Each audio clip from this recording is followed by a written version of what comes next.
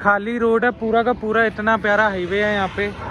And this is the car ये है अल्ट्रोज का एग्जैक्ट वेरिएंट जो यहाँ पे इंजन है। ये है 1.2 litre naturally aspirated petrol engine five speed की मैनुअल ट्रांसमिशन है। यहाँ पे कोई भी ऑटोमेटिक ऑप्शन आपको नहीं मिलता इस कार में। एंड टॉप से सेकंड नंबर का वेरिएंट है ये एग्जैक्ट जगह पे आपको एमआईडी में दिखता रहेगा कि कौन से गियर पे गाड़ी चल रही है। जैसे मैं गियर चेंज करूँगा, यहाँ पे गियर लिखा आ जाएगा। जैसे सेकंड गियर पे टू लिखा आ जाएगा थर्ड गियर पे थ्री लिखा आ जाएगा। एंड इस तरफ़ आपकी स्पीड आएगी। तो अभी एज यू कैन सी मैंने हैंड ब्रेक उतार दी है। सीट बेल्ट लगा लेते हैं हम दोनों।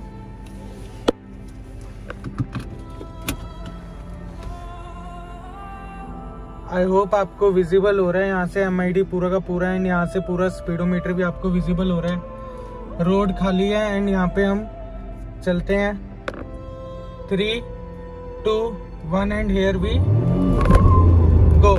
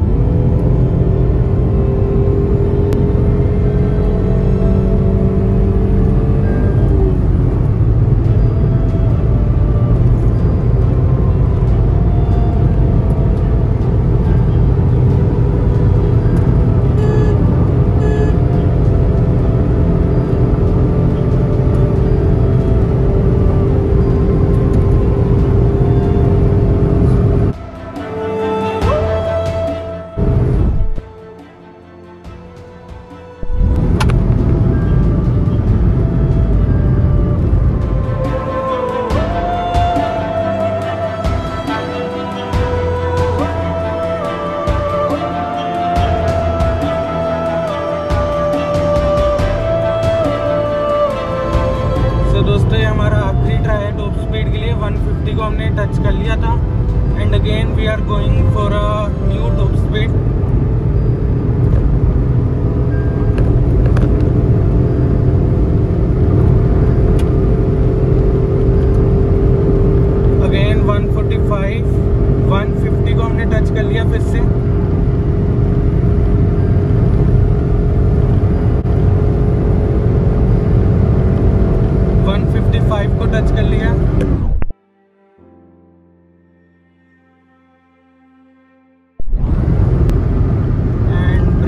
आगे आ गया टोल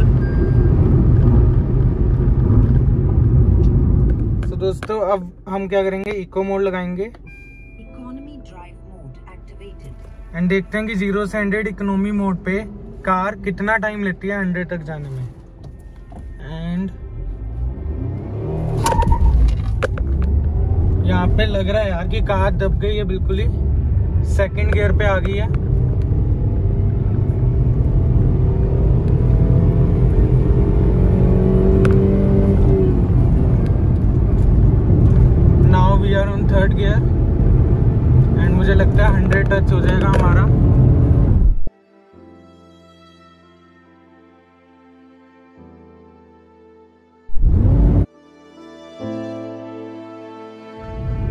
हाईवे पे ट्रैफ़िक है थोड़ा बट फिर भी काफ़ी अच्छा रहा। हमने टॉप स्पीड 150 प्लस की टच करी इस कार के साथ। एंड मैं मानता हूँ यार, मैंने टर्बो पेट्रोल वाली गाड़ी अभी चला के देख ली है वन लीटर वाली। एंड एट दी एंड मुझे ये पता लगा है कि यार, चाहे टर्बो हो या नेचुरली एस्पिरेटेड हो, आपका क्या होगा कि यार कार में पावर होनी चाहिए। नेचुरली एस्पिरेटेड इंजन भी अच्छे होते हैं। कोई डिफरेंस ही नहीं है यार। ज़ीरो से हंड्रेड के टाइम में मैंने ग्रैंड आइटन चलाई है। काफ़ी अच्छी है नियोस सिमिलरली ये कार भी काफ़ी बढ़िया रिस्पॉन्स दे रही है हाईवे के ऊपर। एंड मुझे उम्मीद नहीं थी कि मतलब इतना अच्छा होगा, इतना फास्ट होगा। टाइम तो अभी मुझे भी नहीं पता एग्जैक्ट क्या है। जब मैं घर पे जाके स्टॉप वॉच के साथ कैलकुलेट करेंगे तो पता लग जाएगा कि कितना टाइम लगा कार को इस स्पीड तक आने में।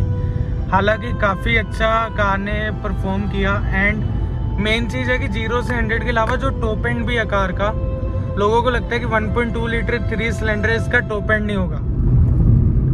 तो यही था दोस्तों, इस गाड़ी का टॉप स्पीड टेस्ट, पूरा का पूरा। इसमें हमने देखा कि फोर्थ गियर के ऊपर ही गाड़ी गई है, फिफ्थ गियर डालने की नौबत ही नहीं आ पाई।